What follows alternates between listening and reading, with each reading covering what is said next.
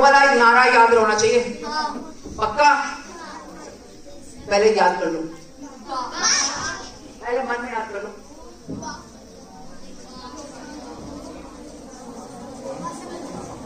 हो गया? चलो अब हम लोग राइट हैंड ऊपर करके बोलेंगे। राइट हैंड अरे यार ये वाला।